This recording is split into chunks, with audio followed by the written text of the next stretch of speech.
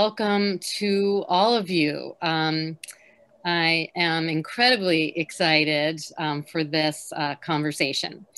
Um, so uh, welcome to the roundtable discussion of No Ordinary Man. I'm Dana Seitler and I'm the director of the Bonham Center for Sexual Diversity Studies at the University of Toronto.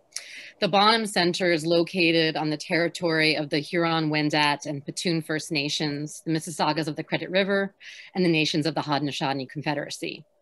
The territory was the subject of the Dish with One Spoon Wampum Belt Covenant, an agreement between the Haudenosaunee Confederacy and the Ojibwe and allied nations to peaceably share and care for the resources around the Great Lakes.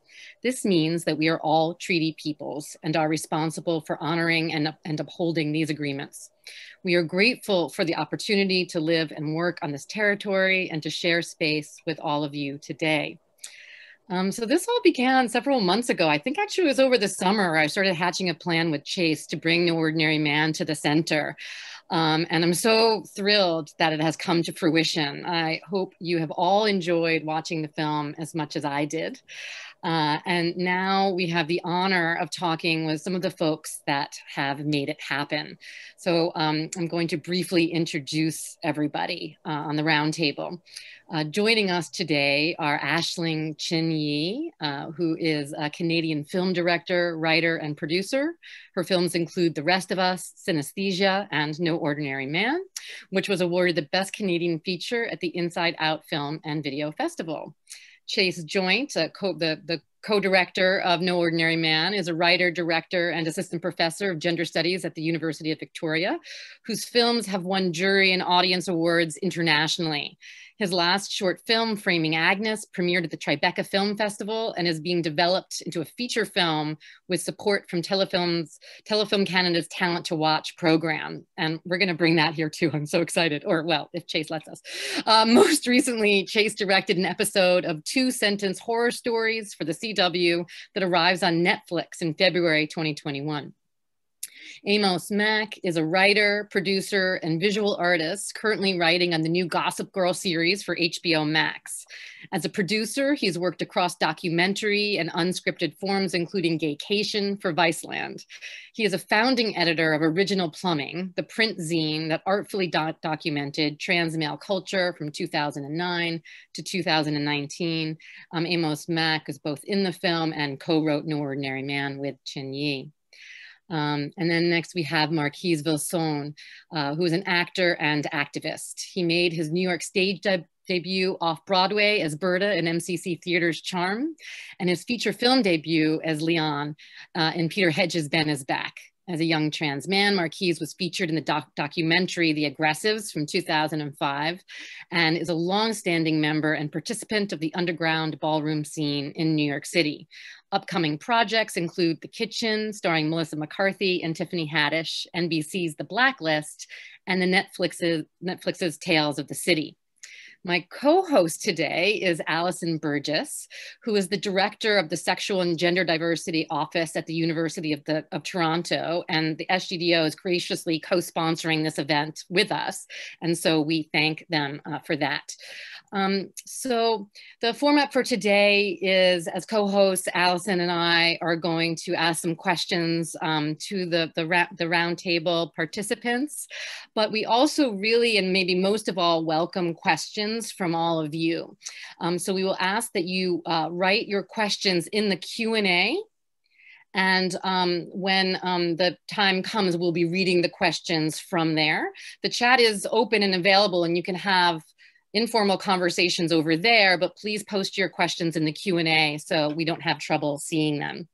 Um, and also live ca captions are available um, to you. So um, to the panelists, just welcome. It's a thrill uh, to have you here virtually. Um, Thank you. And, uh, I just want to get us started um, by hearing a little bit from each of you. And so to that end, I wonder if you could share with us just a little bit about what it was like to, to write, direct, produce, and act in this film. Um, I'd love to hear about the overall process, all the feelings involved, um, you know, during the, the filming, um, and, and really what it meant to you to be part of the project. and uh, anybody can volunteer to go first. Ash, do you want to start us off? I knew you were going to do that.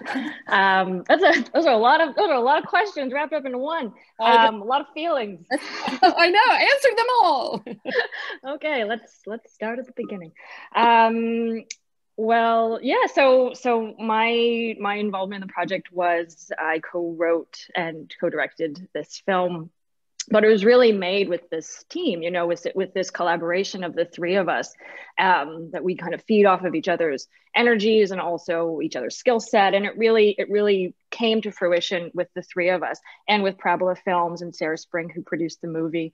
And so my involvement and my interest in it was really discovering um, Billy Tipton for the first time through the research of making this film uh, as a non-trans person. He wasn't someone who I had encountered before before making this film, and so in you know peeling back some of the layers and and doing the research and and and you know meeting people in his life and and uh, and Amos and I went down to Stanford and dug through all these archives and got to touch his belongings and read his sheet music and, and all of these things was kind of the piecing together of this person who um, lived this amazing and vibrant life, was a very talented musician, was complex in all the ways that all of us are individually complex, and also, you know, like was somebody who just, you know, lived a very successful life as a as a talented a talented guy in the decades that he that he came up in. So it was that was an entry point, and then of course when you research him, you know, online, what you find out about him is so uh, distorted from who he actually represented himself to be. So it was taking a you know looking at a way that we could reframe that in a in a in a in a more correct light, or at least the way that we saw him. So that's kind of you know that was the kind of the ethos and, and the motivation behind making the film. Um, I, at least you know I think from from my part, and I think from you know for a big part of us, uh, we kind of came to that conclusion collaboratively. And then making it was a was a was a dream. It was a treat. It was the people that we had, you know, generously involved in the film were so fantastic, and you get to see so many of them in in this process. So, like, it was it was great. it was it was all great, and and all the ups and downs that go in between that. Amos. I mean, I I remember when um, I heard from Ash for the first time when she and Parabola were looking for a trans masculine writer to join and, and really dig into the weeds as to Billy's story through research and, and really like discuss deeply how to tell his story in a way that wasn't out there at the time. Um, so that was, I was very quick to say yes because, you know, I had seen Billy Tipton, his story like online in the ether of trans, of, you know, trans culture for you know many years or like as maybe like since the early 2000s i'll say like finding him on the you know on websites while researching trans men in history. But there was never a ton of information. It always focused on you know his uh, what happened after he died. So in terms of like his story coming out and like the way that his story was presented so the process of like going into the archives with Aisling And, you know, I remember holding his driver's license and, and reading letters that he had written to his, his, uh, his loves and finding his wedding album and things like that. It was, I mean, I feel like I could do that all day, that kind of thing. like digging into, like the research element was just a blast and figuring out how to tell his story was incredible. You know, um, I don't know if I'm answering all of the questions, Dana, that you set out at first, but that was my you know foray into the project. Yeah right great. I have follow-up for everybody but yes yeah, so it's, a, it's a beginning. Thank you. Um, chase or, or marquise? Sure i'm happy to follow up. You know as a trans person interested in trans history i'm always paying attention to, to who controls the narrative. And for so long the details of tipton's life have been controlled by the talk and tabloid media. And our project and the invitation to join the project was an opportunity to think what could happen with this story and with these interlocking histories if they were approached from a trans perspective. And, you know, the intertextual geekiness of this project really gets me going from being able to join a team with Amos, who, you know, we'll start with hot gossip. You know, I identify as someone who I, in some ways, like grew up with or transitioned with, separate and apart, you know, so long ago now, and whose creation of original plumbing was such a hugely significant part of my own early self-understanding about what would be possible at the intersection of art and politics. And joining Ash and Sarah from Parabola, just incredibly badass, politically incisive storytellers and then, you know, the early phases of watching casting tapes come in and encountering Marquise's tape and literally jumping out of my seat with joy at the recognition of this person who I recognized from the aggressives, an incredibly formative doc about transmasculine history yes. that, as was Great. articulated in his bio, came out in the early 2000s when we were not in a moment of hypervisibility of trans and non-binary people and thinking what could happen if we joined some of these conversations together. So, what would it look like to be in dialogue with someone like Marquise about contemporary practices and historical representations of trans masculinity? Yeah. Hmm. Thank you. I just work here. Um, no, they, they all answered, I think, as perfectly as you possibly could be with regards to this film for me coming in, I guess, as a subject and creative consultant, maybe, I, I guess, um, I was really excited because it was about Billy Tipton. And so being able to, to be a part of an opportunity that re-examines his story and tells it in a way that is full of empathy and allows you to fully see him the way he had fully seen himself and represented himself, I think for me was just super cool to be a part of because historically we've just never seen that happen. Um, so yeah, I was I was really just excited and enamored to be a part of the process. Shocked, of course, because obviously I'm black and Billy Tipton is, is not. So I was kind of like, what are they talking about? Like, why in the world would you want me to come and read and you know for a part of, of Billy Tipton? But I'm glad that I did. Um, to be able to really think about what it meant to be Billy Tipton in those moments in time per those sides was just it was kind of mind blowing, to be honest with you. So, to this team, thank you again. And also to you all, thank you for having me, having us. Yeah, thank you for being. I mean, if I could just add a quick follow up question to that, just really for everybody. I mean, Amos was saying you didn't know about Billy Tipton until the project is that the case because i'm just wondering like how did, did how much uh, uh, were you did you encounter billy tipton for the first time Marquise, for example, you know, in this project, um, were, were you aware of any of that history? I'm wondering. For me personally, yes. I, I discovered Billy Tipton as early as probably 2003 or 2004. So this was a year just before The Aggressives came out. And it was a year or two anyway, just before that. And for me, it was also in time where I was about to start my medical transition and I was learning about all of these folks that had come before me. I think it was really important for me to learn about my ancestors and think about the possibilities of what a life, you know, a full life anyway, could look like. Granted, um, Billy Tipton was not someone who was like publicly out or anything like that. However, it, it, I still feel like in the way of our own history, it's super important to like know who he is and know what he was, and, and more importantly, know what he's contributed to, to our society. Mm-hmm. Yeah. Yeah, Amos. You, is that same question to me?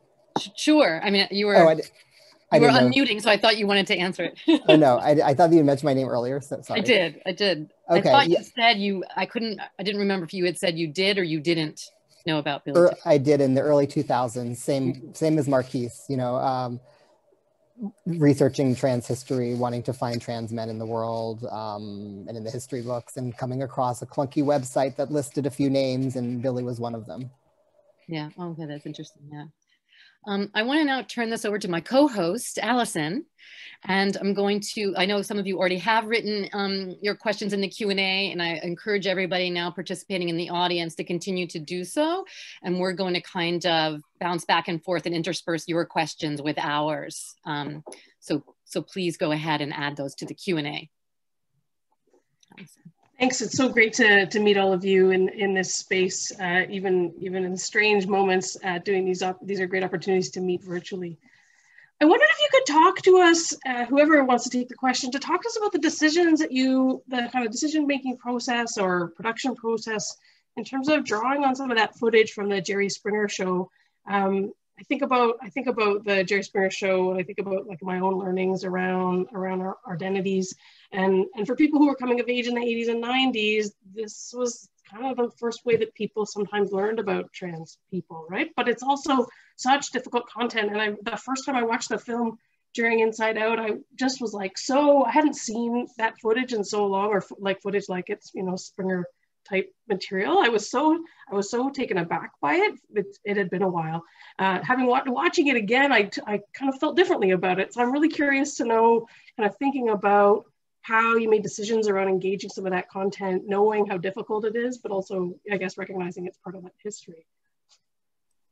Yeah, absolutely. And so much that's already embedded in that question are things that we were thinking about in the use or misuse of that footage in, in the edit, which is to say, it's always doing a kind of double duty. It's revealing a kind of violent, spectatorial curiosity. And also, it's an avenue through which queer and trans people were finding each other through any means necessary and recognizing representations of themselves, even if not perfect uh, served as portals or opportunities to imagine what a life could be otherwise or elsewhere. I think where the talk show footage picks up different momentum in our work is in thinking about the presence of Tipton's family on that circuit at that time. And so, what does it mean for someone like Billy Jr. and Kitty Tipton to be in the same kind of environment? As trans subjects and what are they doing what scripts are they reading and or not in their presentation of self and their protection of their father and their husband at a time where there weren't very many examples of a kind of familial solidarity in that kind of media landscape. And, you know, one of the things that's so fascinating to us in the pre-interviews with so many of our subjects is, is talk shows hold such a significant weight in many of our own personal becoming. And Marquise, I know to throw to you that you're someone too, we talk out loud about how some of the first representations of people who were potentially a little bit like us were on these on these shows and in these formats.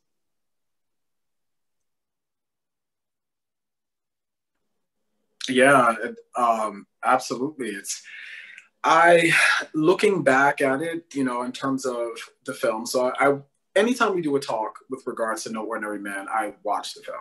I rewatch. This is just me personally, and having an opportunity to look at it again, I think that relationship, that sort of connection between uh, Tipton's wife uh, and his son and the audience, for me, just it is so magical in so in so many ways because it is the first time. Actually, now that I think about it, that I ever saw a family people that were close to the trans person who were on the show that were completely in defense of them. And not necessarily in a way like, oh, I need to defend them in order to protect myself, but really protective of him and the relationship that they had with Billy Tipton. And so I, I think that you're right, um, Allison, that there's, when you look at this specific footage, there is a very different thing that has happened in that moment versus what we have historically seen. Um, and so, yeah, and in fact, that's interesting too that you you mentioned that in the way that like um, you know historically we have kind of like always seen our stories playing out in this way per the 80s and the 90s, and I know for me and myself, you know, thinking about the first time that I saw a black trans guy, it was on Jerry Springer. It was Reno Wright, and while you know, I am not at all a fan of Jerry Springer or the talks of, you know, circuit in, in, general. I do think it was a way for trans people to find themselves, to see images of themselves, to feel like they were not necessarily alone. As problematic as all of that was, there's still a piece of me that is very grateful for those images because those images give us voice and face to what we see today in the way of scripted television, as an example um, if it weren't for those images, if it weren't for those fudges and getting them wrong. So. Yeah, that's a, I think that's such a really good point. I mean, I um, I think I might be the old, oldest person here, but I, I shouldn't have led with that. But um, I yeah, I remember watching this tabloid television when there wasn't internet. You know, we didn't we didn't have smartphones you know these things we didn't have tax but these things didn't exist. And i didn't watch jerry springer a lot but i did watch a lot of jenny jones who was similar and a lot of Ricki Lake who was similar but more queer right? You know and and so yeah you know and, and I, would watch it with friends and we would you know we obviously would clock it for its transphobia and its homophobia but it um it you know, it was also a, it was a place of representation in um, in lieu of anything else that was out there. Yeah, or or was only out there via underground, you know, means and circuits and you know that sort of thing. So I really appreciate that. Um, I want to. The, the questions are building up in the audience, so I think I'm going to go to one. Um, and this is from Acadia Ford. This is the question from Australia. So it says, hello to the filmmakers and congratulations on an incredibly moving film. Would you be able to speak about the recruitment strategies for the actors? Who, who did that? Was it Amos and Aisling or yeah?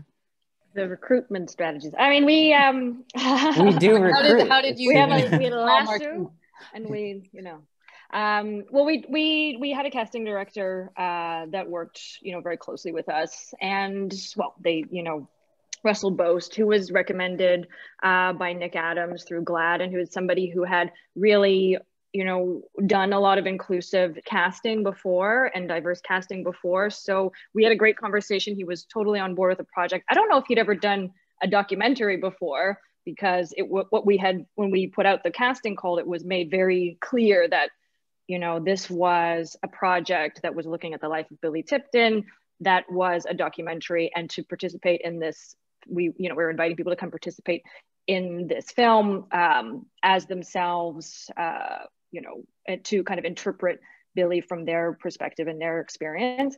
So we did, you know, a, a full North American casting call, and then we did, um, and then we did sessions, live sessions in Los Angeles and New York. And so we had received tapes, just you know, classic way, so casting tapes, and we were going we were going through them and saw such an amazing array of you know different talent and different ages and everything of uh, transmasculine talent and that's when um and that's when we you know we're in, we encountered marquise's tape for the first time and where chase was saying that he was bouncing all over the walls. And so that was fun. I wish I had the camera rolling on that moment, but I was just trying to like catch him. Um, and then immediately we contacted Russell and we're like, uh, can we talk to Marquise? We're in New York right now.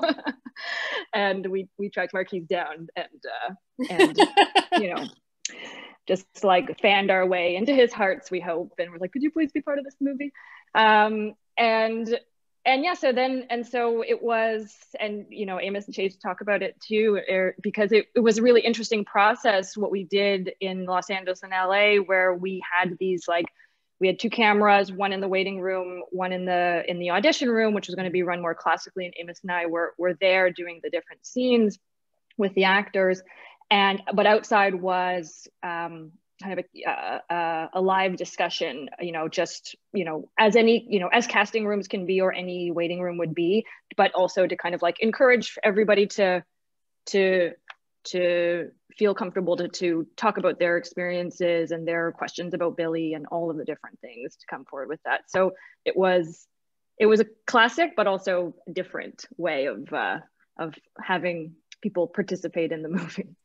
And I think one of the things too is building a casting call that required folks to join the room as themselves and understood that there was no narrative feature to be produced meant that it invited a kind of non-competitive conversation about the stakes of being a transmasculine actor in the contemporary moment. And time and time again in those rooms we would hear i've never been in a room like this before. I've never been you know surrounded by other transmasculine people to be able to talk about the highs and lows of this process and this industry in these ways. And so I think we are so often inundated in a conversation about casting, about cis people performing trans roles and the complexities of these choices. But the question for us changed, and it wasn't about casting for performance, but casting as a way to think about embodiment and a kind of trans historical inhabitation.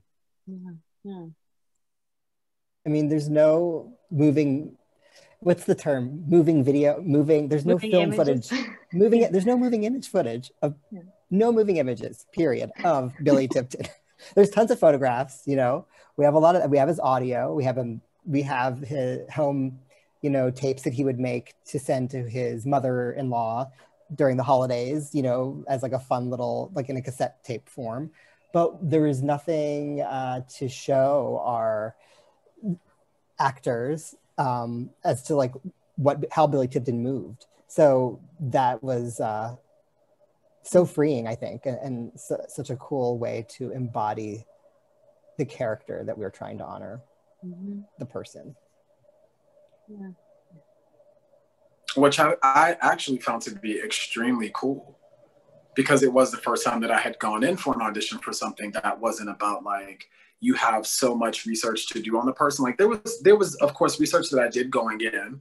Unfortunately, reading Diane Middlebrook's um, suits me. Of course, I, I did read it because there was tons of helpful information there. But I do think Amos is right. Like in terms of the visual, there was nothing aesthetically to really go off of. So it was what what I was interpreting about Billy Tipton in that moment, where he lived, you know, in the genre of music he was in, the seedy nightclubs, like the entire thing. Like it just had to come to me as a way of like figuring out exactly how I would navigate that space if I were quote unquote Billy Tipton.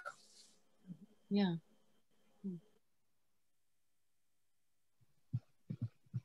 This is great, thank you. There's a lot of comments around, lots of questions around casting, but I think across the across all your answers, you've you've addressed, I think, most of the questions that are coming in around casting. Um, there's another question here that now my screen has just jumped, so give me one moment. Um, uh, this is a comment following up, Marquise, one of the comments you said. So uh, Kyle says, uh, thank you so much for a fantastic film in this event. Following up on Marquise's comment about Kitty and Billy Jr. defending Billy, uh, Kyle says, I'm curious to hear about how you or anyone who wants to respond squares this with Kitty's comments to Diane Middlebrook that she would have divorced Billy if she knew he was transgender. So I don't know if anyone wants to comment on that. I'll try. um, I think it was a pretty honest answer. And I, what I got from Kitty's response about that, I don't know if it was necessarily about his transness more than it was about a piece of information that was about his life that she just didn't know. And I think no matter who we are, dealing with another human being and being in a relationship with that person and feeling like there's something that you're shut off from with regards to their personal life, their history. It, you know, for Billy in this conversation, it was about his transness. For someone else, it could be about the fact that they're married to someone else right? It could be um, that they lied about their credit score or where they went to college. I don't know. It could be uh, any number of those things. I didn't necessarily marry them as being one and the same because if there were this sort of like uh, innate disdain that she had for transness and just phobia in that way, would there be a need to be defensive about her relationship, about the person that she loved and she cared about who is no longer here? And the world is suggesting that you know, you'd be ashamed of this human being. That wasn't something that she was willing to um, show us or, or, or, express because that just wasn't a place that she was in.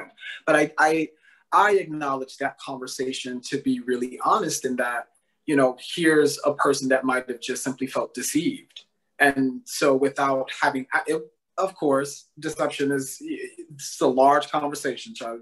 We can unpack a lot of things with this word that I just used.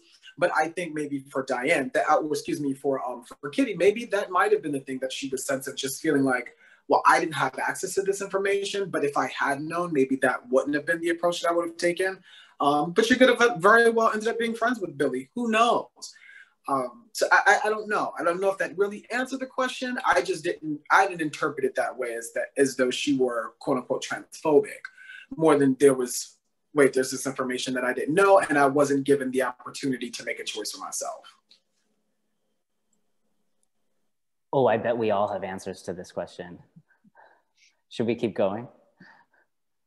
I mean, I, I think to add to what Marquise is saying, you know, to the both and of it all, you know, the structure of the documentary betrays a public-private split. So we get to to encounter Kitty on a talk show stage performing one version of Solidarity, and we hear a recorded conversation intended for a very different audience for a very different purpose. And I think that both need to exist and inform our understanding not only of her, but of the complexity of a relationship that we are never actually going to have access to, and that we always need to understand it as continually mediated, not only through the technologies of our finding in the archive, but through our additional layering of meaning by giving it to you in that way, to presenting you with multiple versions of, of the telling of this story and in the interpretation of this life.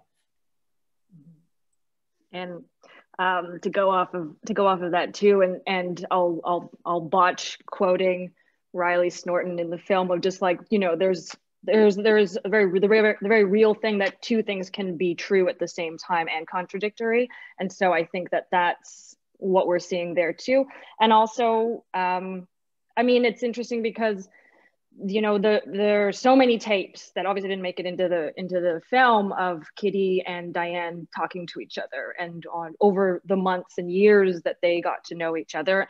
And I think also there were times that like Diane was you know she was definitely like you know loading the questions up as well for Kitty um and Kitty had all sorts Kitty was a co very complex human being. And the thing is she did leave Billy you know? So whether she it was that would necessarily been like the ultimate decision for leaving him or not it's like they they they did split up but they stayed very close so um yeah i think there's so much that's so interesting and so private about their particular relationship like any relationship is that uh that we could go on and on and on about mm-hmm.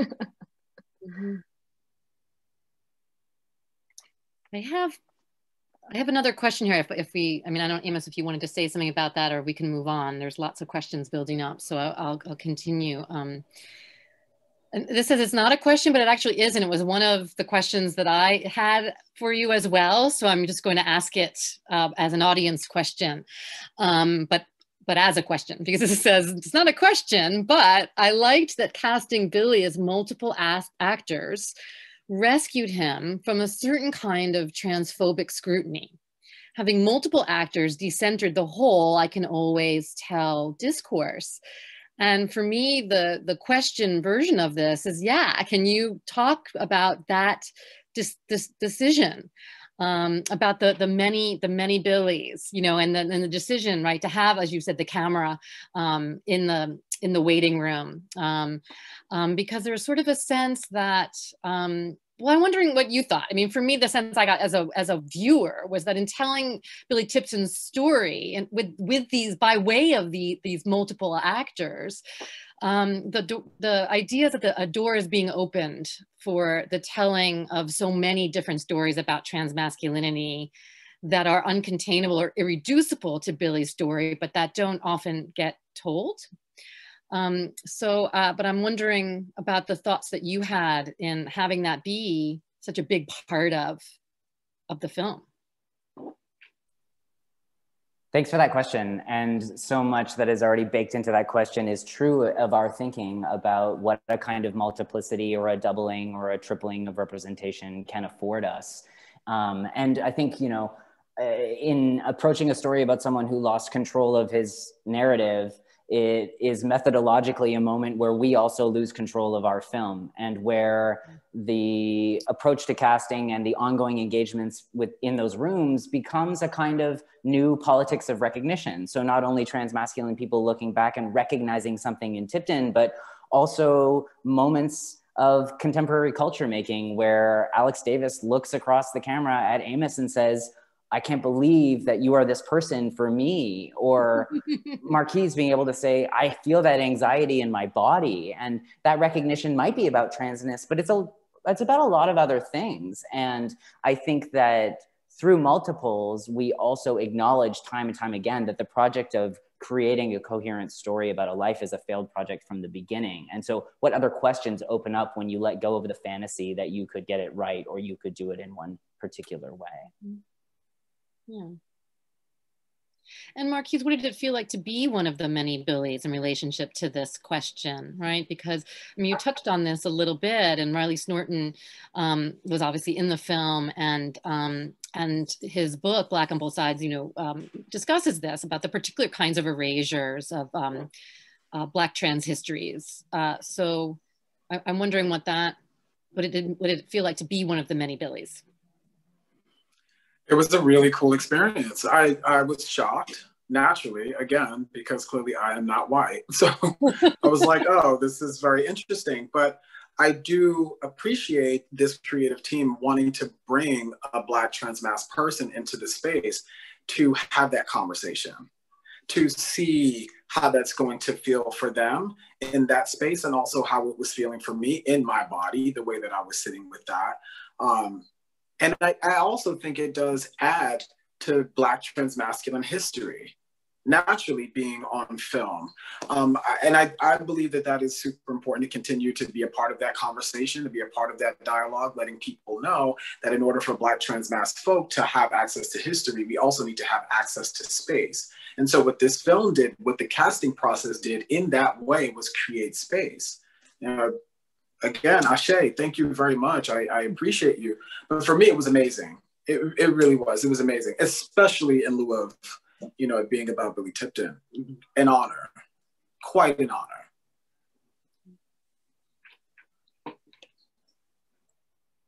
One of the other ways that I think we can approach this question too, and here sort of thinking out loud with Riley and Riley's work is the research and development and ongoing exchanges we had about concurrent forms of Black transmasculine life and representation. So what does it mean to have conversations about Little Axe Broadnax, for example, or Jackie Kay's novel Trumpet about, it's a fictionalized uh, story of a black transmasculine trumpet player, but is riffing alongside some of the data points of Tipton's life history. And, you know, I was recently in conversation with Michelle Pearson Clarke, who I know is in residence at the Bonham Center right now, I think. And, uh, you know, Michelle said something incredibly compelling to me in conversation, which was, you know, and I apologize for the, the quoting, but you know, there are many things I make in pursuit of making a picture.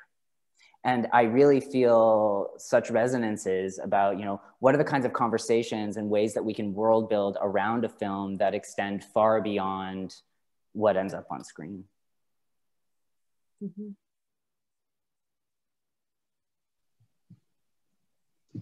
Just want to give space in case anyone else wants to answer. Yeah. Okay. So there's a question here, and and this one really speaks to me because I think so much about the the the part of the film that I think really just stays with me over and over is the is the moments with Billy Jr. Um, and and so I'm going to read this question from Tobias because it comes as close to what I was thinking about as as can. Um, can you talk about the reparative moment with Billy Tipton Jr.? In other words, the healing that occurred when he starts to realize that his father belongs to a community who cares deeply about his life. He says, I've been asked these questions hundreds of times, but not in this way. So, what is the different way he asked? Was there a specific kind of trans type of inquiring in the film that created a new space of healing for both Tipton's history and Tipton Jr.?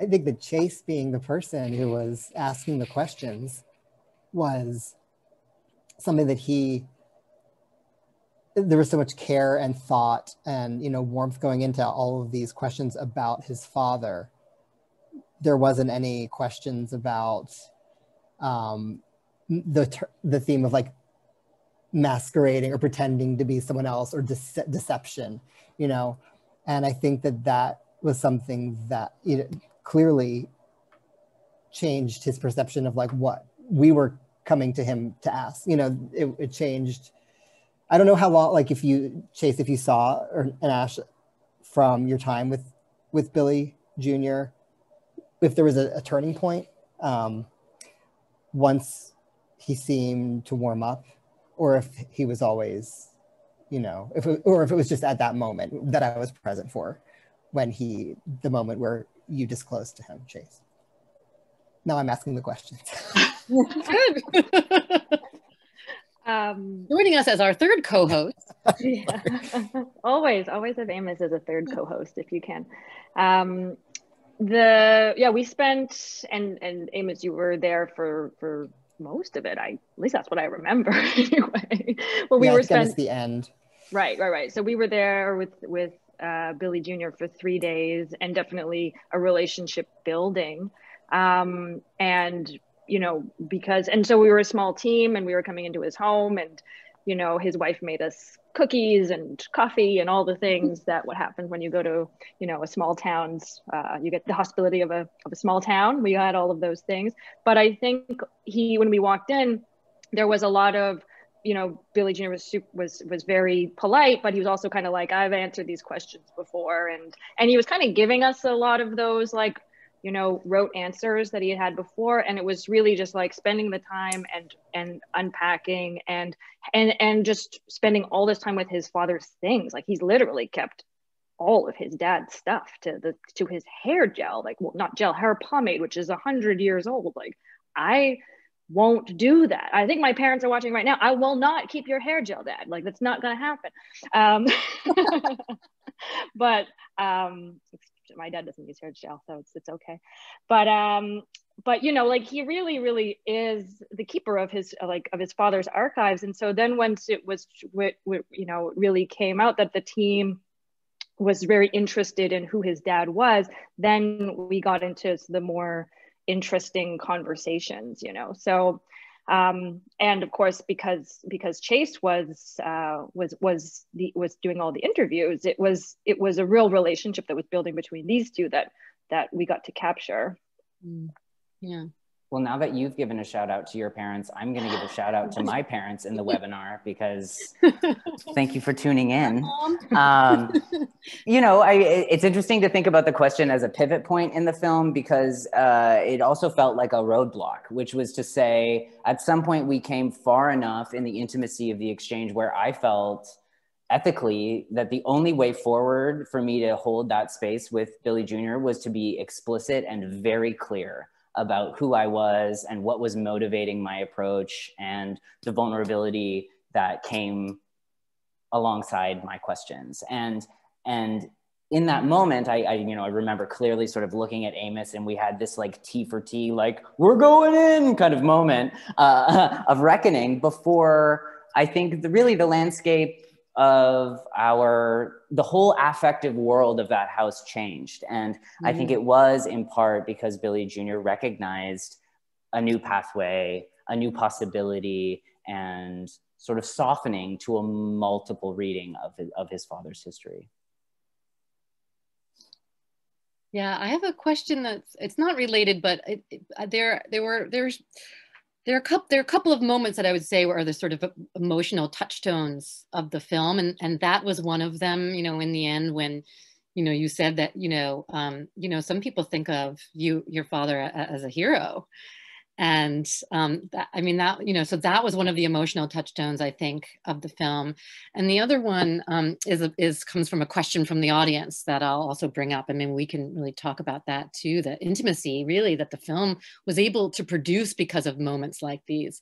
Um, so this is a question from clara kraus i was wondering concerning the scene between buck and billy and that incredibly powerful moment of recognition and seeing being seen how did that idea come about? Obviously, we can know that they interacted and met in some way in the studio, but do we know that they did have that intimate one on one moment of recognition in real life? Or how did you come up with the idea for that scene? And it says, Love this movie so much. Thank you all.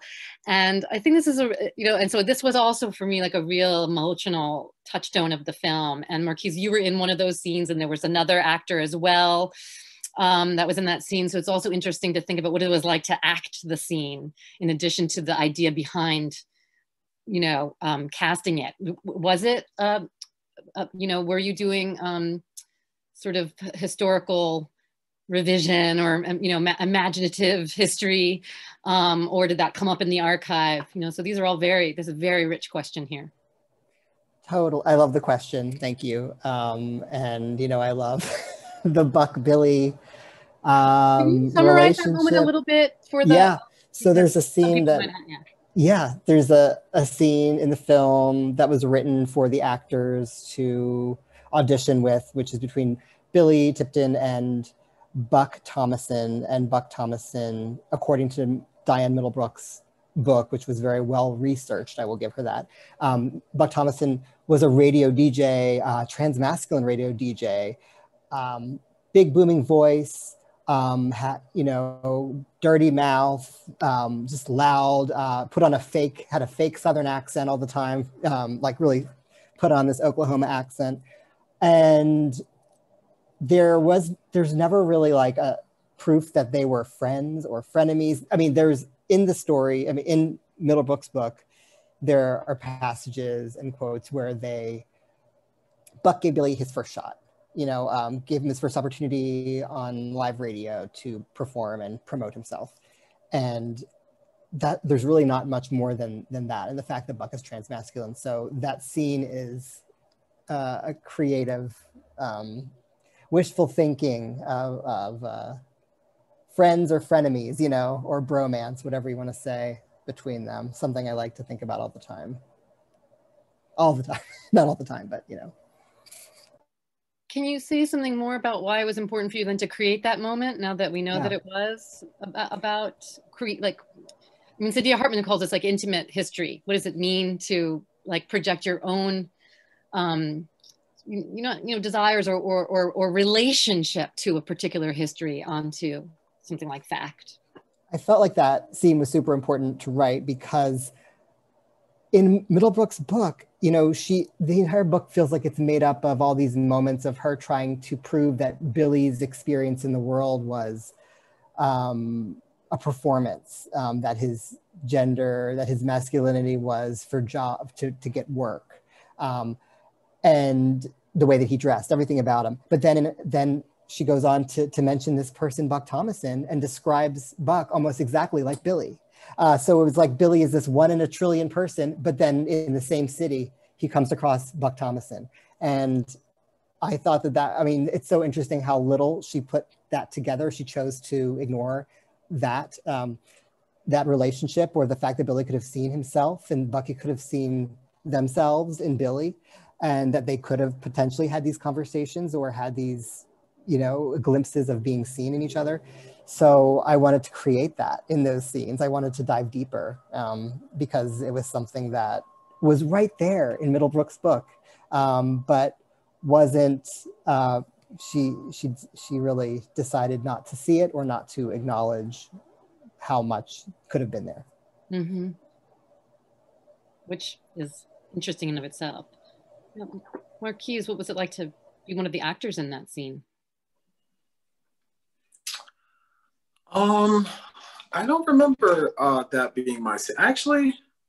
I, I, don't know if my. I think so. You, did. you did. You said you're in the trailer too. That's like what where you say.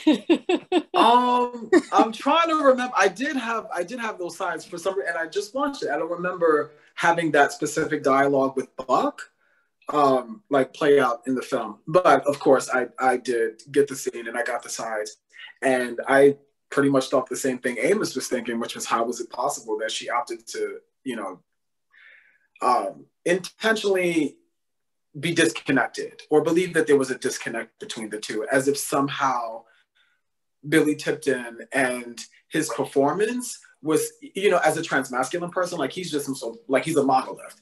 He's the only one. It's just him doing this thing, and yet somehow here's Buck, who happens to be in the way that he's described, especially in the way that Amos wrote him, um, probably far more hyper masculine than Billy was. I mean, he was really loud, he was boisterous, everything about his energy read masculine. I didn't even need to have eyes to see that. Like I could feel what that was. Um, but for me, I thought it was an interesting choice, and I thought it was a choice that made the most sense um, because then it, it really gives context to his existence and that it is not simply a performance. It is not just about jazz, uh, because this is also someone who's you know, living his life this way with his family, within his work, and then somehow meets someone who's almost a mirror to himself. And yet there's still no need to finally reveal and be like, oh, you know, I'm really, you know what I mean? Like they're just themselves. They literally just are, are engaging in that dialogue It's just themselves and I think even Billy is kind of, he's kind of just taken it back, which that I thought was really interesting. Um, that somehow he had this moment of like, wait, what? Oh, okay. Like we're kindred spirits here. Like I, I, I don't know. That was just weird. That whole moment when he realizes who Buck is, and then he's mm-hmm. like, oh, wait, you're like me. Like we're the same. I thought that was cool.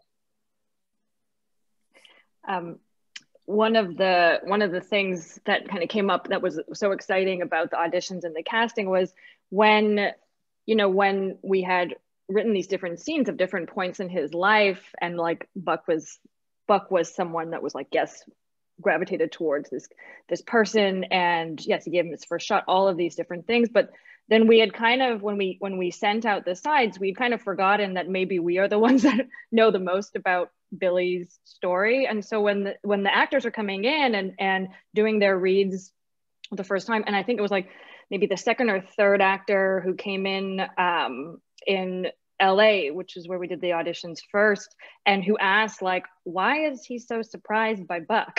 like, what's what's why is he so taken aback by seeing this guy? And they were like, oh, we act we didn't explain that. And so then it was, you know, this these beautiful moments of recognition in the room with these actors live, and then of course like with Alex, with Alex Blue Davis and Amos having this like, you know beautiful moment of of recognition. And alex you know remembering in real time that that amos was that person for him that was just like you know you can't write or like anticipate those types of like beautiful documentary connections. So um that was yeah that is a very special moment in the film and in making the film and being in the room being like fortunate enough to be in the room while that's happening was a was a privilege yeah. So I have another question that isn't in the Q and A, Dana. Somebody gave me a question in advance, so I'm going to read oh, that one if that's all right. um, so uh, this was a question that a little bit of a pivot. So a question about wondering about decisions around how you shot the film uh, overall and what that process looked like. So you know, for example, you show at the end you're showing Billy Jr. the clips of the actors. Um, so that obviously happened before uh, so, or, you know, so just curious about sort of, we, we experience the narrative that you create, but wondering a little bit about the process and decisions for how to shoot the film. Ash, do you want to split this labor? Do you want to talk New York, LA, and I'll talk Spokane? I love it when you talk Spokane, um, sure. Uh, yeah, well, let's, let, we, we can just we can we can we can riff back and forth. Let's co-direct uh, this answer. How about we do that? You know, we have all these Zoom windows. Um, so this film was shot in a total of nine days, which um, is is not a lot of well, not a lot not a lot of days, and so we did.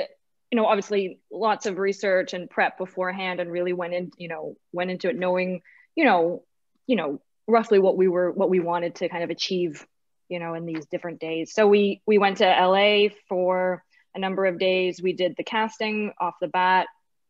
And so learned a lot from that process and with and, and having all these actors in the room and what kind of, you know, you know, things like the buck moment, like, oh, these are the sort of magical things that can happen and to really be, you know, extra aware of that for for New York, which we shot a couple about uh, about six weeks later, I, I think. And so then we did the interviews um, in both those cities as well. And we did we shot them in uh, various jazz clubs and nightclubs in um, in LA and New York and in Spokane as well.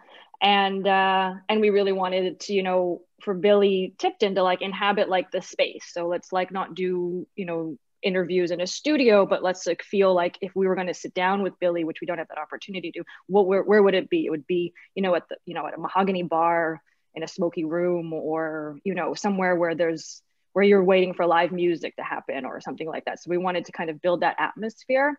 So we did we did the same process in both uh, Los Angeles and New York, and and there was yeah about six weeks in between that time. And then we went to Spokane. right, where arguably we could get the closest to Billy Tipton through the his objects and his ephemera and his son's ongoing narration. And we were really lucky and benefited from the fact that Jamison Green lived in close enough proximity to join us in Spokane, where we were able to introduce them and produce what I call the, the proxy dad scene, where there's a kind of moment of reckoning where Billy Jr. gets to continue to understand the impact of his dad's legacy. And Jamison so generously walks toward a conversation um, about his significance with F to M Mag from the early 90s in hand. And that was really a, a luck of geography for which we're, we're very grateful. Yeah. Hmm.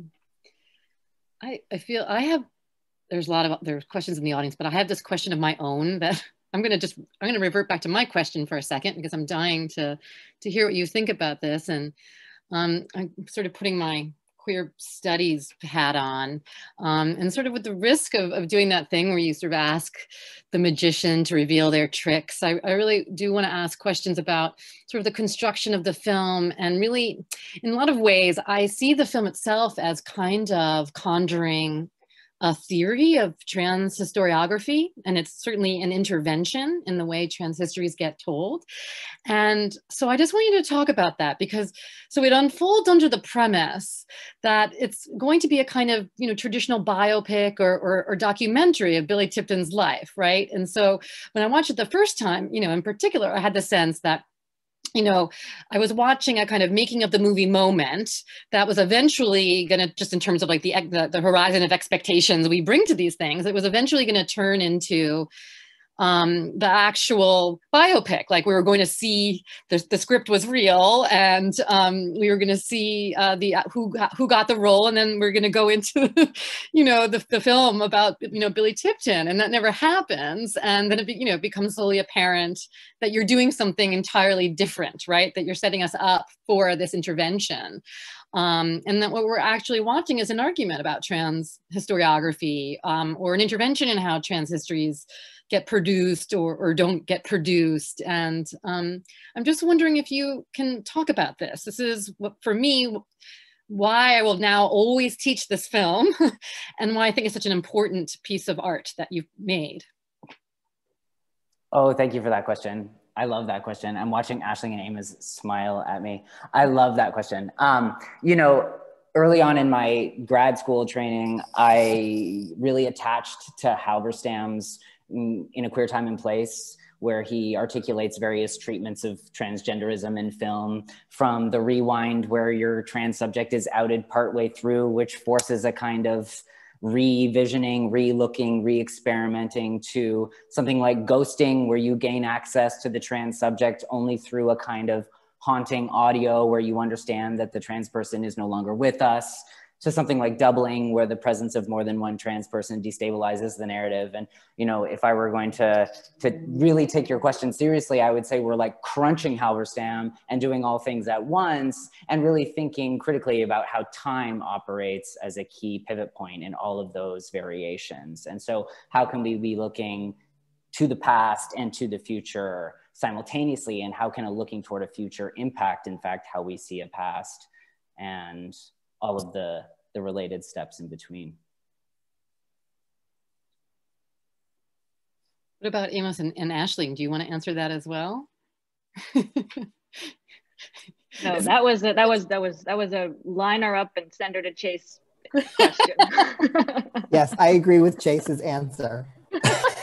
like just in terms of in terms of the casting so what did you do so like was the it was there a bigger script was it only the audition moments that were scripted um, you know, and so did, you sat down, you had a conversation. Okay, you know, this is how we're going to do it. I just I kind of want to know more about the magic.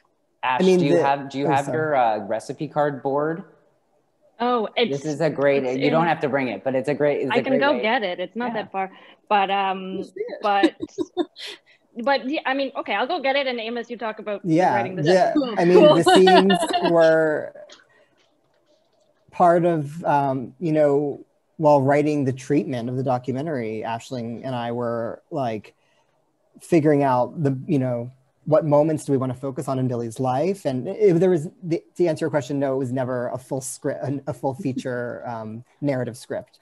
Um, it was very specific and, and, plotted out ahead of time that they would be like short vignettes um, of his life. And we wrote a, probably like about five of them and used less and put them in very specific you know, parts in the written treatment, which no one sees. So it's not even like something that I can, that is part of the conversation really. It's just like part of our process of, before making it, before yeah. producing.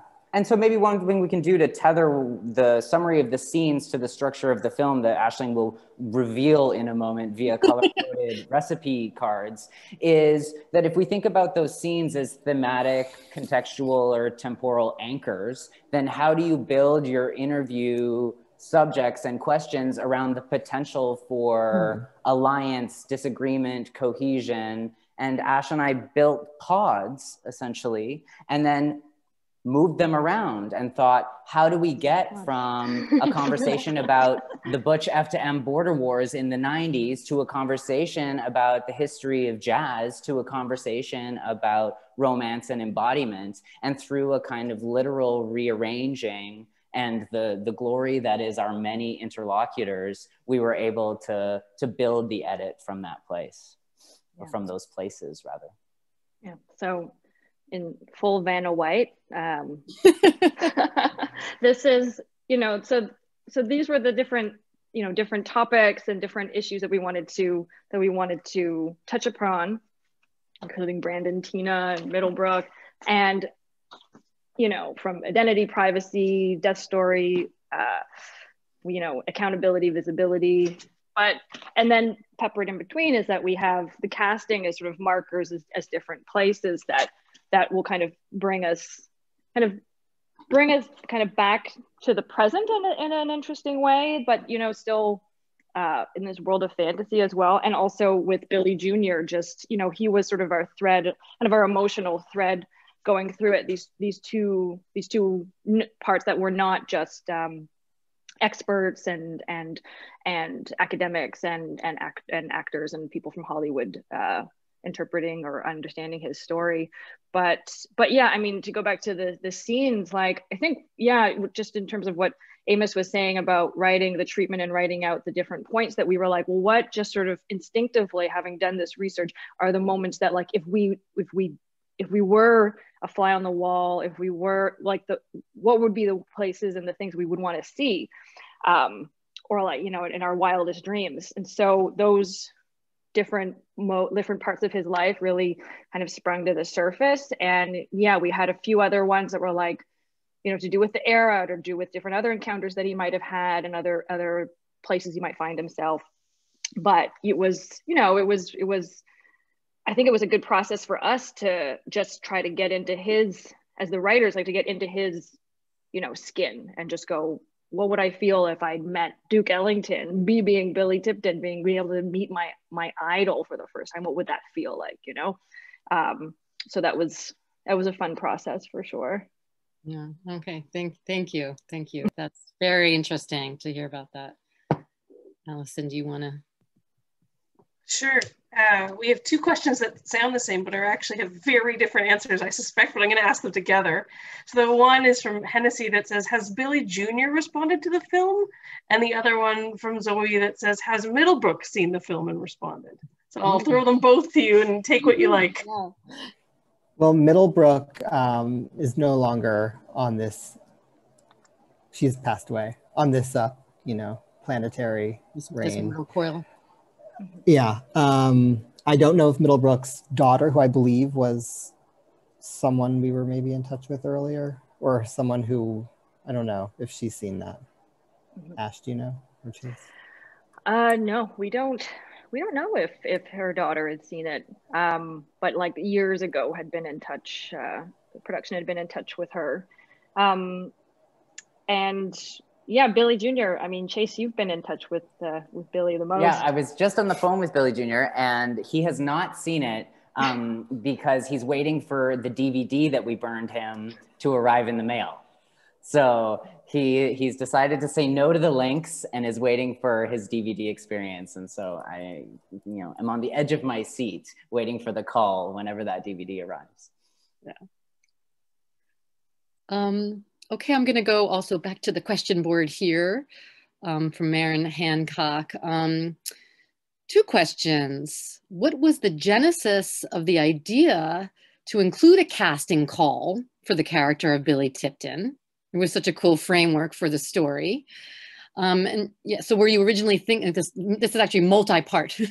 were you originally thinking of dramatizing parts of his story and actually auditioning someone to play him? This is similar to mine. That's why I really like it. Uh, or was the framework conceived as a way to include a multiplicity of voices and perspectives? And two, what nightclubs did you shoot the interview footage in? The locations are gorgeous. Um, B. Uh, it was always supposed to be, you know, it, we'd always conceived it as as as how you saw it that it would be that it would be kind of in process meta film that was going to involve a multitude of different people for those different ex- perspectives experiences and for us to really acknowledge that you know like amos said like there's no moving images of billy tipton so if we were going to contribute mm-hmm. images of billy tipton to the world then we wanted to we had to be very very thoughtful about this process. And so in that it was like well we now we have kind of the opportunity to to you know as chase like say like think out loud with a lot of different people about how you interpret somebody that we don't have. We don't have uh, a record of besides the music that he left and some recordings. And um and the nightclubs we shot again like in los angeles and in new york for, for the most part. And so we shot at um, No Name Bar in in LA on Franklin uh, on Franklin Avenue. I might be getting that wrong. I might be getting it wrong. And um, and then we shot uh, in the Slipper Room in New York, and we shot at the Box in New York. Which, for queer and trans cultural production geeks, are such valuable sites for queer and trans cultural production. And if you're in the know, you know. And if you're not, you get to be in the glory that is a dirty, grimy music jazz venue. And we shot in the House of Soul in Spokane.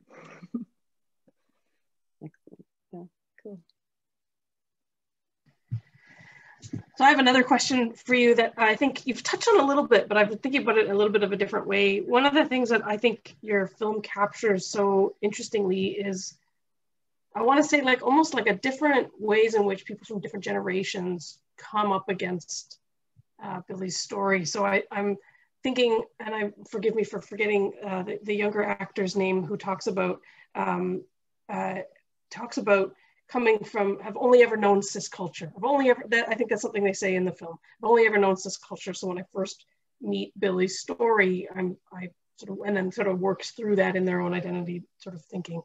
And I think about that in contrast to I think it's with I think it's with Susan Stryker who who just offers such a different such a different response. And I think I think what's really interesting about those responses and then all the responses sort of I don't want to say in between, but in the kind of galaxy of it, um, almost captures so much of like the last, I want to say even less, sort of 40 years of, of sort of identity politics and culture around trans identities. And just wondered if you sort of have thoughts or reactions to, I don't, it's not a question, it's more a thread.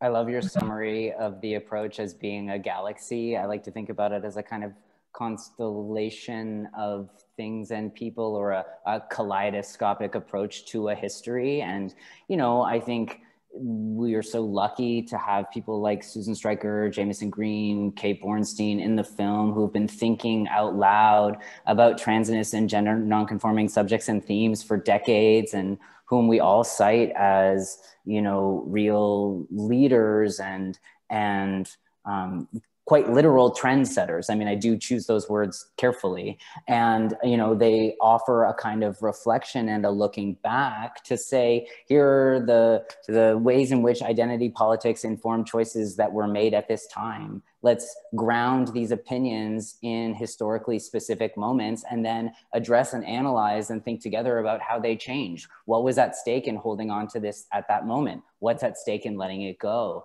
And then the invitation to think with people like Riley Snorton and Thomas Page McBee and Stephen Pennington, who are all working in and out of the academy and in journalism and the arts, who are taking in some ways a generation of trans theory and trans scholarship and contesting, adding to, revisioning, reforming, breaking away from, and to actually concurrently be playing in both of those spaces. And then to have an 18 year old transmasculine actor who has just come out to his mom in the weeks prior to the film say, This is the most incredible thing in the world, and I've never really encountered any bad feelings. My mom has been in, I'm looking at Marquise nod because there was this amazing exchange in a waiting room where we were listening to this incredible person be filled with such joy and feel so unencumbered by uh, uh, uh, an announcement of self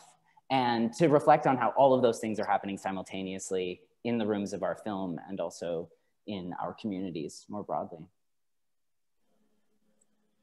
Yeah, I, I actually found that to be a really interesting part of the film. You get to see living legends sharing space with folks who are just coming into themselves, you know, in the last year or two, um, which is kind of wild to really think about, especially in the way of like our own history. I think for many of us, we're like living history. Trans people don't really have a lot of history. So, like, the fact that all of this is existing in one space at one time um, across the generations, if you will, is just, is so phenomenal. And it's so beautiful to watch play out and see.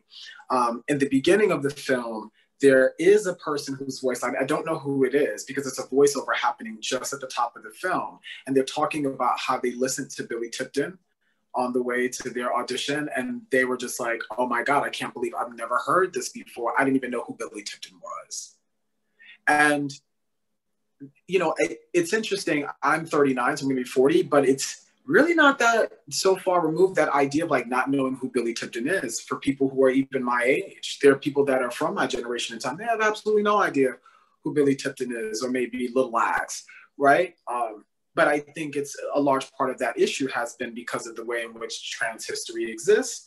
And it's always kind of been through the gaze of cisness.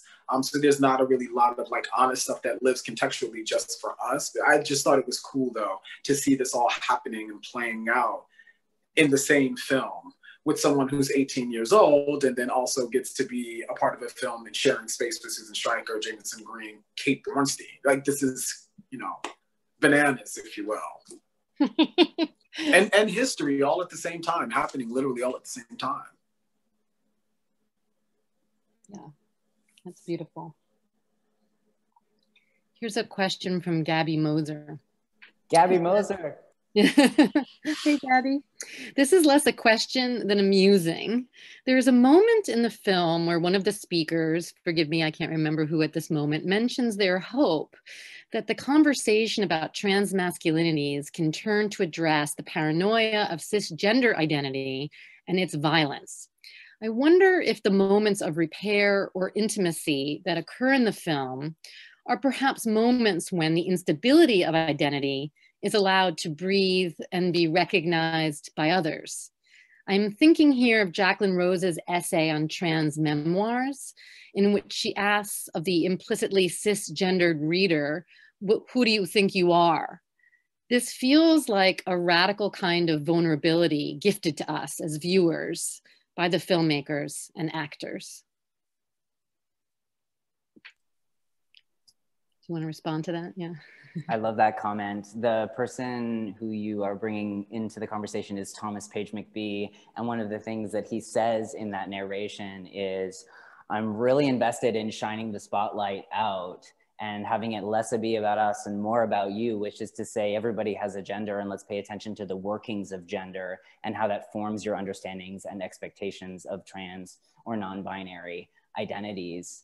And I love the the imagination that the instability of these categorizations and the instability of history and the fact that we don't actually know anything about how Billy Tipton identified, nor does it particularly matter that what are these moments of spaciousness allowing for us in the contemporary moment and allowing for us to imagine a different kind of, of embodied narration, one that can be frankly untethered from the legacy of trans autobiography, which has produced the trans subject in very particular ways for, as you have said, you know, very particular readerships or very particular publics.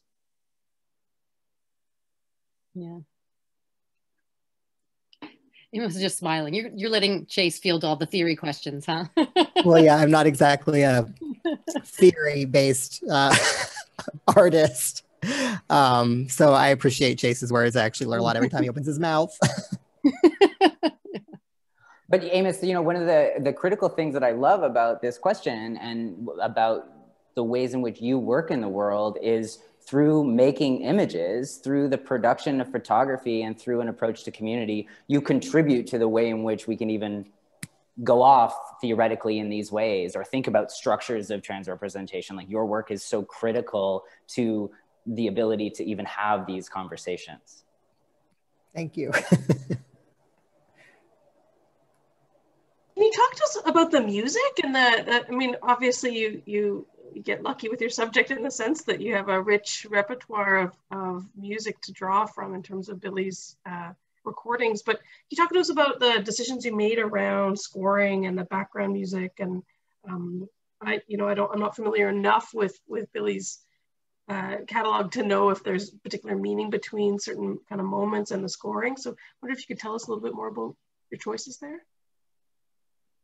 Sure. Um, yeah, so so we so there's two musicians, um, well, three musicians, I should say, that uh, that contributed to the film, and obviously Billy Tipton is one of them. Um, he has two albums that he recorded, and he and we had um, access to some rehearsal recordings that he did in the 40s that were never made for public consumption. So you know, and live recordings that he did that would have been on the radio that someone literally taped with a tape recorder in front of a live radio while he was uh, down at a at a club, not too far at the ranch inn. And um, so Billy's music is obviously there. It's really it's part of you know how he inhabits the movie is in this way.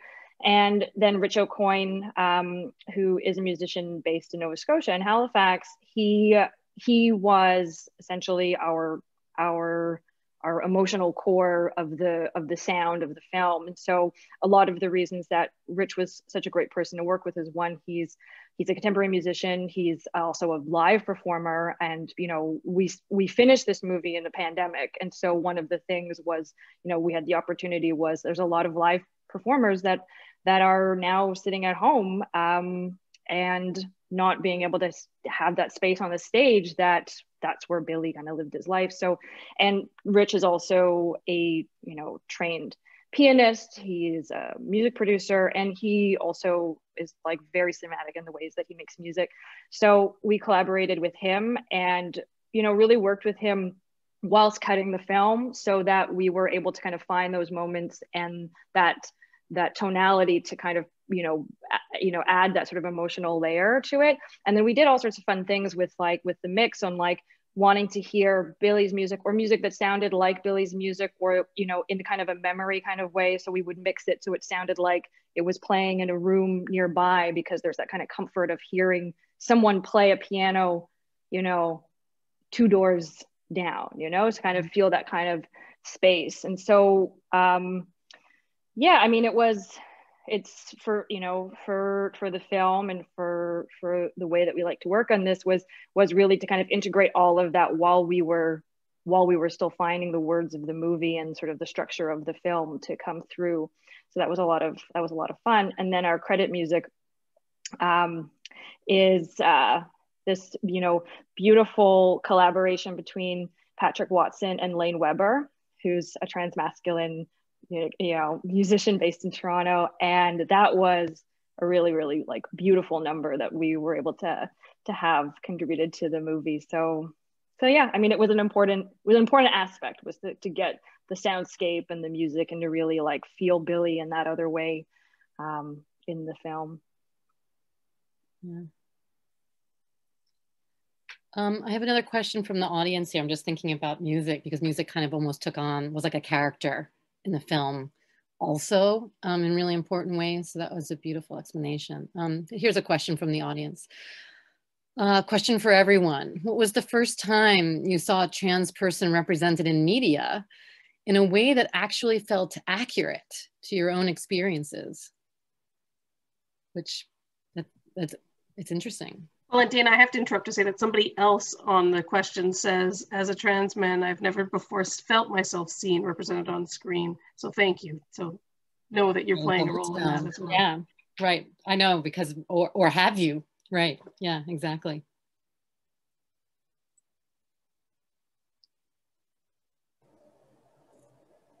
I'm actually like racking my brain trying to find figure out the first moment um, and like television film, and I can't.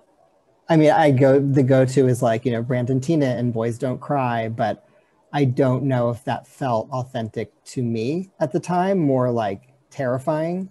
Um, but there was something there uh, that I saw in that character, despite not having a trans person play that role, um, the way that the story was told. Beyond that, you know, the the talk show circuit was like so many of us, the first time seeing a trans person, period, uh, for me. That's like what pops out. But I'm still racking my brain for like that first super authentic, relatable uh, characterization that's like been fictionalized. Someone can, if someone has an has a better answer than that, more concrete. Uh, I mean, of course, my my automatic go-to is always going to be Reno um, on Jury, but I think it's only because I'm, I had an opportunity to see a Black trans masc person, and, and then also he was someone that I knew from the ballroom community. Um, in the way of fictional storytelling, yeah, I feel you, Amos. I I'm still waiting. Yeah. I think so. I, I think I'm still waiting. I, but I I think, hmm I don't know. There's a part of me that feels like in the way of storytelling, in order for us to really see like authentic images of ourselves, I, I think it's really about us having, you know, a seat at the table, being able to create the story, um, direct, production, you know, writer's table, the whole thing. So I think it's a work in progress, but I, I feel like it's getting that much closer than it was obviously 20 years ago. So I'm hopeful. Um, my answer is that I was an undergraduate student studying theater at UCLA, and uh, I wasn't a particularly syllabus stalking student at that time and did not know that there was a guest speaker that was going to be attending my, I think it was called queer performance class. And totally unbeknownst to me, Kate Bornstein walked into the front of the classroom and began a performance. And as part of the performance, she dropped the register of her voice and then said, did that do anything to help you figure me out?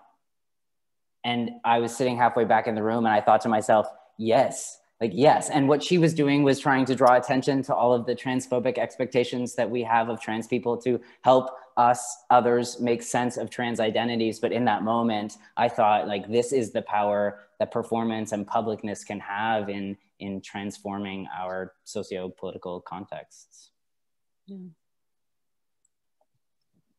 Well, and I guess Marquise, I mean, the work that you're doing, you're sort of contributing to this, you know, outside of this particular project. Uh, you know, I, I, Law and Order Junkie definitely saw you on on that on that episode of Law and Order SVU. I thought you did a phenomenal job.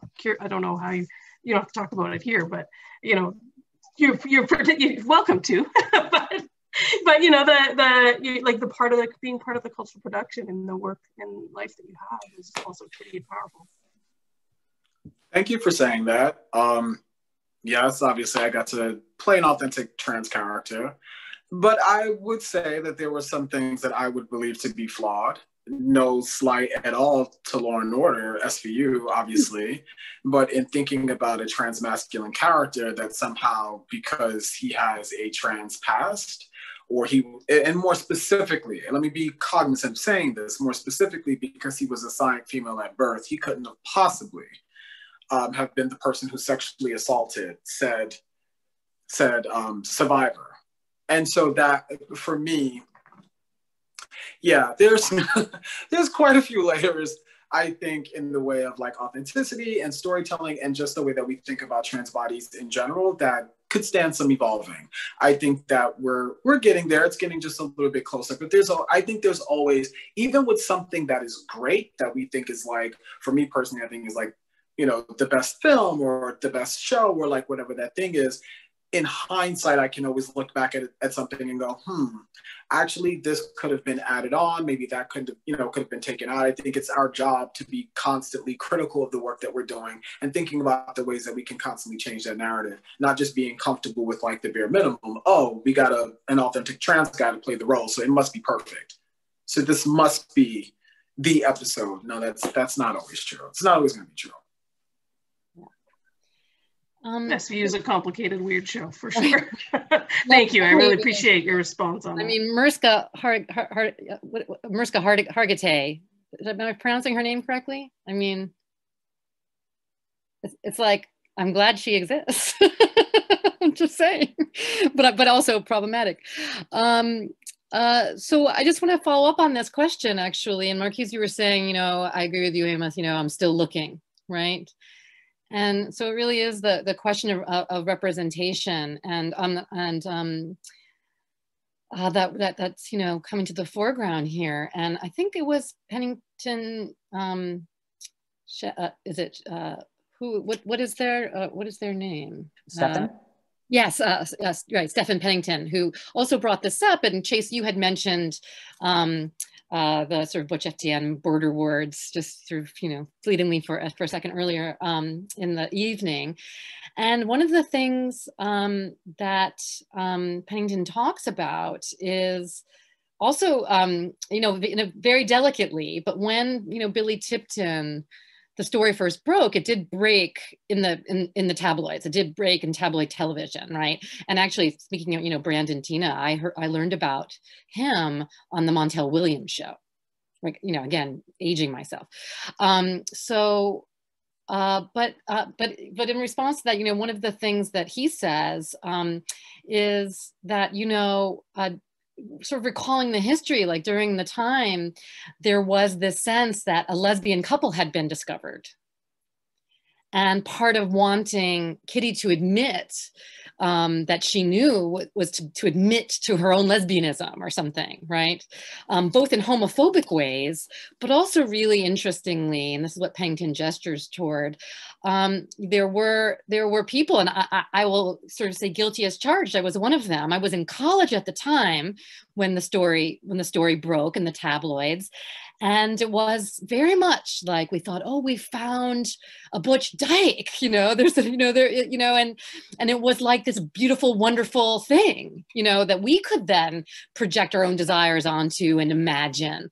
Um, and it's very interesting in the thing that the film draws our attention to and that pennington does as well the way that you know that kind of um, you know even queer desire colluded in the erasure of trans history at that moment. Um, and so I'm just, I'm wondering about that. You, you included in the film, I'm wondering if you had conversations about that and, um, and the focus on that in the film. So one of, one of the ways to answer that is to tell you that there's an entire section of our interviews that include a, a really sustained engagement with Donna Minkowitz, who's the Dyke identified journalists responsible for breaking the Brandon Teena murder in the Village Voice in the early 1990s and who penned an apology 20 plus years later, looking back and saying, here's what I didn't know when I wrote that thing. And one of the things that Minkowitz does is claims Brandon Teena as a lesbian who's playing out masculinity as a result of childhood sexual trauma. And one of the things that Minkowitz does so beautifully in our conversation is says, I didn't know. And I found myself identifying with. And I authored as a journalist from that place of identification and possibility. And yes, 20 plus years later, I can see all of the things that I didn't know, but I didn't know then. And I came out of a community that was, as you said, Dana, trying to find queer alliance, queer romance, queer representation, queer possibility. And so for us, we had thought we weren't sure how much space Brandon Teena's life, murder, and the representation thereof would take up in our film, and ultimately made choices to move otherwise. But Minkowitz, in some ways, becomes a stand in for Middlebrook in our conversations. Uh, uh, what would we know if we were able to think about authorship with authors?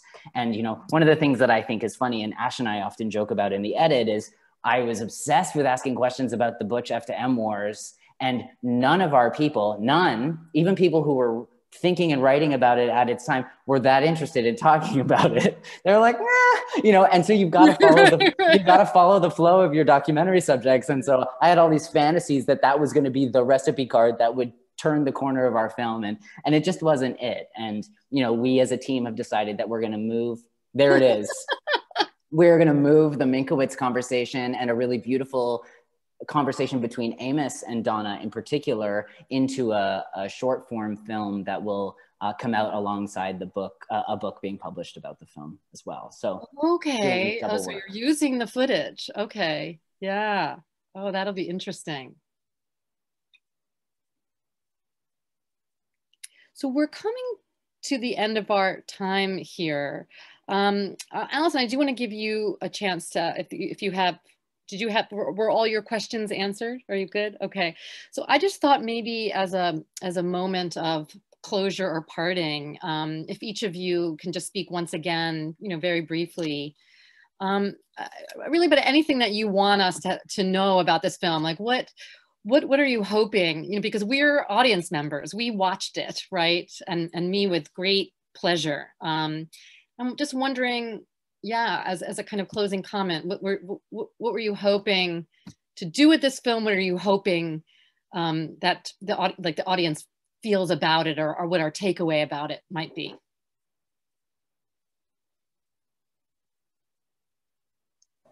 I really hope that people are able to see this as like a, a conversation in progress um, that about you know how to tell a story of a trans person um, the right versus the wrong way. Really like it's an ongoing conversation and it's something that is should not be the end all be all you know wait there is no answer of like who was billy tipton? How does he want to be remembered? How do we tell his story? It's really like it's ongoing despite the the, the film being complete. Mm-hmm. Aisling, yeah yeah you know same that it's uh, that hopefully this movie is like an opening of a door to you know further curiosities of learning more about billy um, or about any of the people that are in the film if you hadn't encountered them before.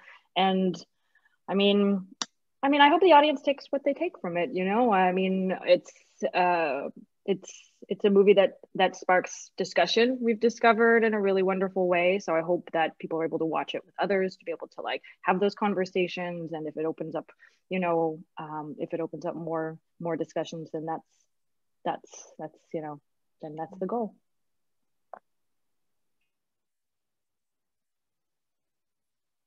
Marquise or chase who? Marquise Um, I hope that audiences look at this film and feel motivated and inspired to explore transmasculine history beyond Billy Billy Tipton.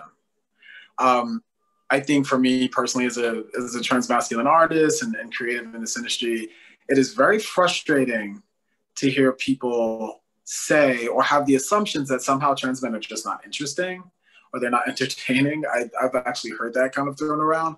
So I hope that when people see this film, they're not necessarily entertained or anything like that, more than they are inspired to want to know more and take the time out to really empathize with Billy's story, as as with all of our stories.